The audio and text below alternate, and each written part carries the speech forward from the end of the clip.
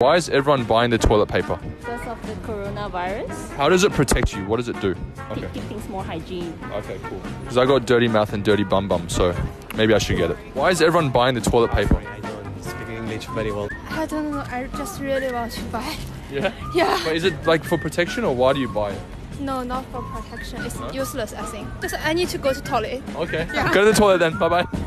excuse me. Why do you have so much toilet paper? Excuse me. Excuse me. Why do you? Excuse it. What?